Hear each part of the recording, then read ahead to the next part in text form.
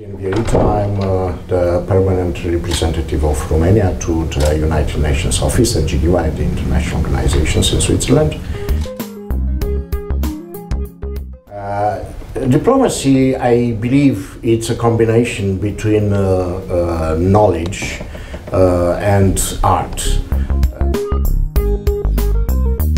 So I believe that uh, enthusiasm uh, together with, uh, with uh, knowledge and a little bit of creativity uh, are required to, to be a, a good diplomat.